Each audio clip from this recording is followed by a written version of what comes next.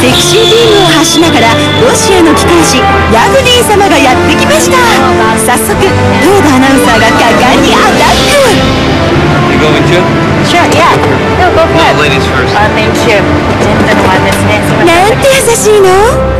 笑顔も素敵ゴールドの輝きでそうだ We love ヤグディ長野までの密着の旅まずは金メダルのお祝いにシャンパンで乾杯 ready for the camera? なんだかとっても上機嫌まあまあ金メダリストに継いでもらっちゃってヤグ様って意外と気さくなんですねさあ準備ができましたそんなボケまでしてくれちゃってさすがエンターテイナーつかみは OK よ Congratulations. Thank you so much. Thank you. ヤグ様今のご気分は？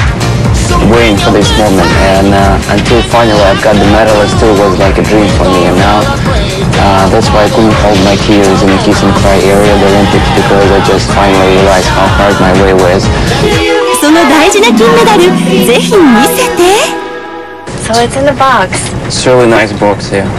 4歳からスケートを始めヤグ様がずっと夢見てきた金メダルがこの箱の中に.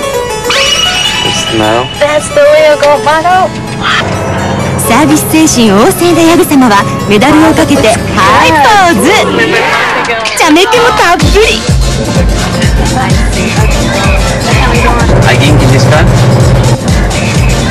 素顔もすごく魅力的です。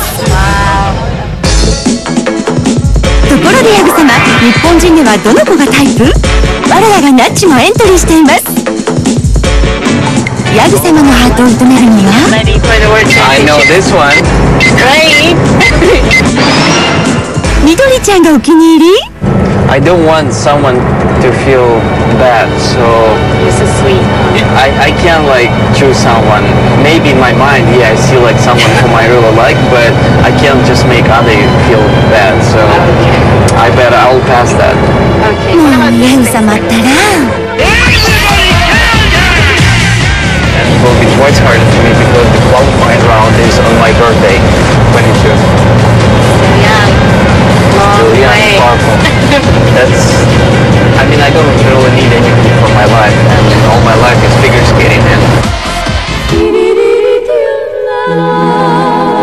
さすがのヤグ様もお疲れ。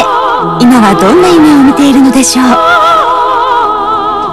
いざ決戦の舞台へ。その甘いマスクと完璧な演技でまた日本のファンを酔わせてヤグ様。